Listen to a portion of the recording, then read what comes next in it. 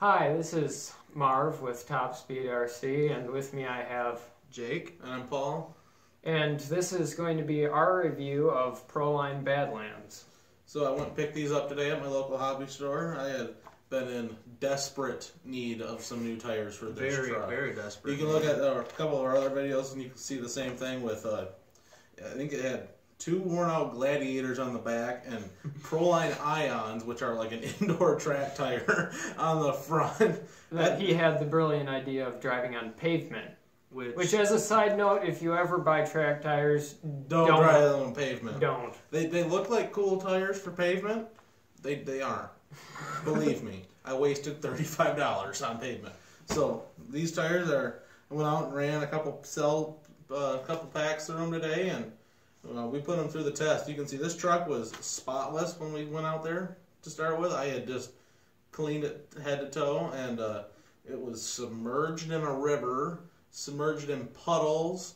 It was ran through sand, hard packed dirt, pavement, everything, and I can say these these tires, they're the bomb, man. yeah, We've all run them. we all have these tires on our each of our individual slashes. I've had mine for since the spring, and they're great tires on. This is my second They're set of great them for this tires. truck. They're great tires on all pavement or all kinds of surfaces. They hook up. They wear out on pavement, but they hook up, man. And I've I haven't run them a ton on pavement, but they haven't worn too much. But don't buy these as a primary pavement unless a pavement runner unless you want to keep buying tires every like month or so. I mean, they're gonna hook up incredibly well on pavement. You're gonna be doing wheelies, catwalks. You can see the back of my body posts are worn flat from running wheelies without a body on because this thing will do this thing will do standing backflips without a uh, on 3S without a the body on it because of how much just traction these things get. Mm-hmm. Uh, you burn out slipper. you don't really burn out slippers if you don't if you're like me and you don't use one really, but Look, these things will spray some incredible ta- rooster tails on the dirt. Mm, They've got like a motocross almost style design. You can see. Um, they're uh, like knobby. They're like not really like a regular truck tire.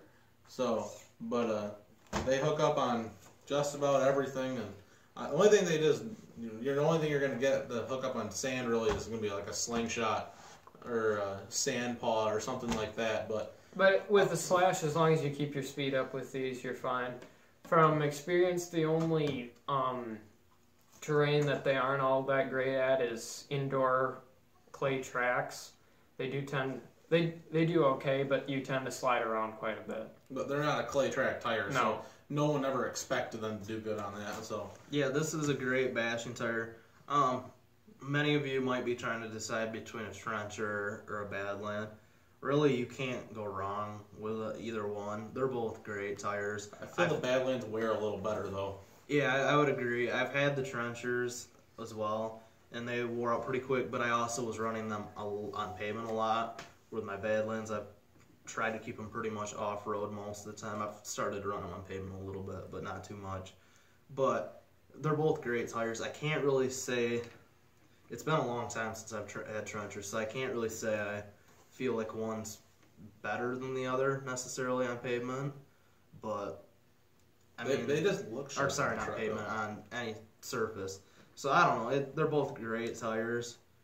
Um, I personally think the Badlands look cooler, so that's a Yeah, they do for look them. cool on the truck. Like if you throw, a, if you throw a body on there though, that thing just looks mean and menacing with those tires on there.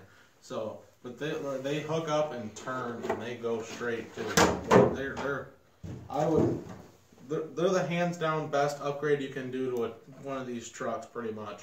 Because with my other tires, this truck was not the same truck. I threw these on and it was like it was like a whole new truck. Uh, The, those guys will say I would not shut up when we were running about how great they were. No, No, he he wouldn't. He wouldn't. but and it's understandable because I did the same thing when I got these. These things are awesome. Like it was going through tall grass that I would never have dreamed it to go through with the other tires I was having it on. It almost. uh, I'm probably If you if you need one upgrade and you have like 60, 70 bucks, buy new tires, especially if you're going off road. Buy new tires. Either buy Badlands or buy Trenchers. I would pro like I said, I've had them both. I'd probably go Badlands just because they look cooler. But like I said, you can't go wrong with the other one. They're both great tires.